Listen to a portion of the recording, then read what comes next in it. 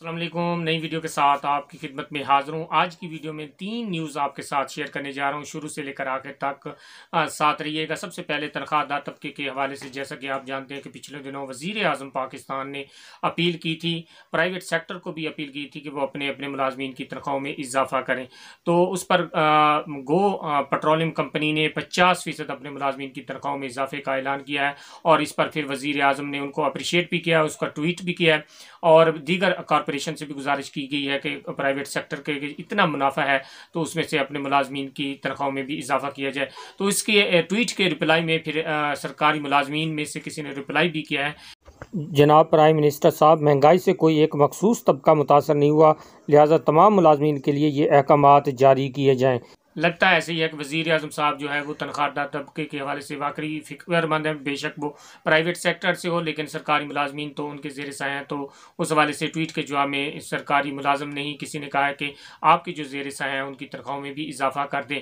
तो गुजारिश यही की गई है। दूसरी, उन्होंने सौ से ज़ायद जो बड़ी कॉरपोरेशन हैं, उनसे भी गुजारिश की है कि अपने अपने मुलाजमीन की तनख्वाहों में इजाफा करें। तो इजाफा करने के हवाले से, जैसा कि आप जानते हैं कि सरकारी मुलाजमीन और पेंशनर्स भी इस हवाले से काफ़ी अरसे से जो है वो जद्दोजहद कर रहे हैं और अनकरीब वो वफाक में भी एहतजाज करने जा रहे हैं तनख्वाहों में इजाफे के हवाले से और पेंशनर्स की पेंशनर्स के हवाले से और महँगाई अलाउंस के हवाले से। सरकारी मुलाजमीन और पेंशनर्स इसी उम्मीद पर रहें कि किसी दिन सरकारी मुलाजमीन की तनख्वाहों और पेंशन में इजाफे का ऐलान वज़ी अजम ख़ुद करेंगे। क्योंकि वो इस हवाले से बड़े फ़िक्रमंद भी हैं। और पेंशन में इजाफा कर देते हैं। तो यकीन उनकी इस बयान पर उन योम तशक्र भी मनाने के हवाले से सरकारी मुलाजमी तैयार हैं।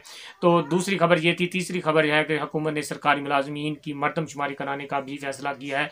एक से लेकर बाईस ग्रेड तक के जो मुलाजमीन और अफसरान हैं, उनकी मरदमशुमारी की जाएगी, जिसमें उनके मुख्तलिफ़ किस्म के ज़ाती और प्रोफेशनल किस्म के तैंतीस सवाल किए जाएँगे। उसमें उनकी जॉब, उनका कैडर और मुख्तलिफ़ नैत के सवाल किए जाएँगे और उसके जवाब हासिल किए जाएँगे। तो जैसा कि आप जानते हैं, मरदमशुमारी होने जा रही है तो उससे पहले मरदमशुमारी के हवाले से, सरकारी मुलाजमीन के हवाले से ये कहा जा रहा है कि पहले इनकी मरदमशुमारी की जाएगी, एक से लेकर बाईस ग्रेड के हवाले से। तो ये तीन खबरें थी। उम्मीद करता हूँ इन्फॉर्मेशन आपको पसंद आएगी, और अगर पसंद आए तो इस वीडियो को लाइक भी कीजिएगा, शेयर भी कीजिएगा, और सब्सक्राइब करना ना भूलिएगा। इसी तरह की और भी वीडियो हमारे चैनल पर मौजूद हैं। अगर टाइम मिले तो वो भी ज़रूर देख लीजिएगा। अल्लाह हाफिज़।